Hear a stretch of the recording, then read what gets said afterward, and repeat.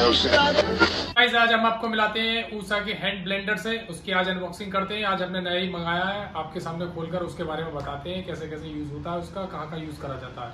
तो चलिए, आज हम आपको दिखाते हैं उसको। रहा, आज हम उसकी अनबॉक्सिंग करेंगे आपके सामने।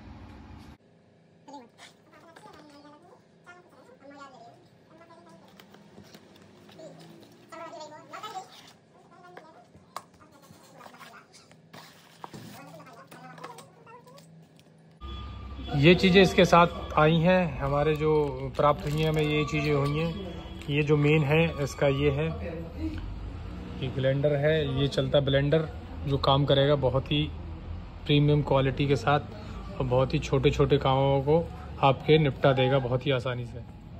ये हमें जो है, ये यहाँ से देखोगे तो आप जो है इसे हटाने के बाद आप इसके साथ ये चीज़ भी लगा सकते हैं, ये रहा। इसका दूसरा जो ब्लेड है ये हम हम्म, लगा सकते हैं। इसे मैं भी लगा के दिखाऊँगा कैसे इसे सेट करते हैं।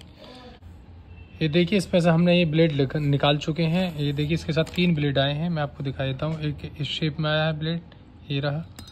और एक आया है ये वाला शेप में। ये लग जाते हैं इसके साथ। और एक है ये। तीनों ही अलग अलग टाइप के ब्लेड हैं। अलग अलग काम आएँगे। लगाना ही बड़ा आसान है इसे। ये देखिए, इसके साथ जो ये है ना, ये इसकी खांचों में इसे फंसा देना है।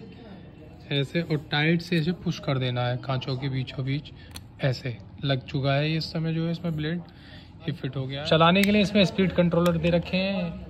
ये फ़र्स्ट और ये बी ये सेकंड है। इसमें तो और तेज चलेगा। ये इसमें बंद होगा नॉर्मल रहेगा। इसमें थोड़ा कम स्पीड पे चलेगा। 125 वाट में है, मेड इन इंडिया है।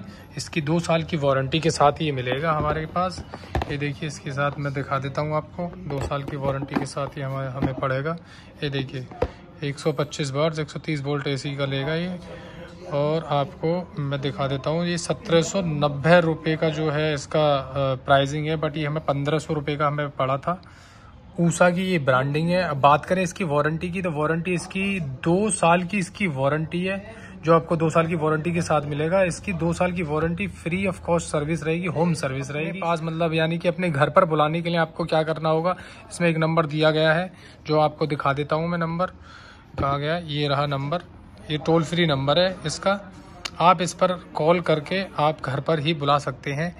इसकी वायर भी बहुत लंबी है एक मीटर की समथिंग इसकी वायर है, तीन फीट के आसपास इसकी वायर है। तो आप आसान आसानी से इसे यूज़ कर सकते हैं। मैं आपको इसे चला के दिखाता हूँ अभी। स्विच हम लगा रहे हैं इसका। इससे पहले बीच में ऑफ़ करेंगे, अब इसका स्विच ऑन करेंगे। अब इसे हम आपको चला कर दिखाएँगे। ये देखिए। इन्वर्टर पे ही हम चला रहे हैं, देखिए, इन्वर्टर में लाइट नहीं आ रही है। ये हमने इन्वर्टर पर हमने चलाया है। ठीक है? ये देखिए, ये कम इस लो स्पीड है इसकी, ये हाई स्पीड है इसकी।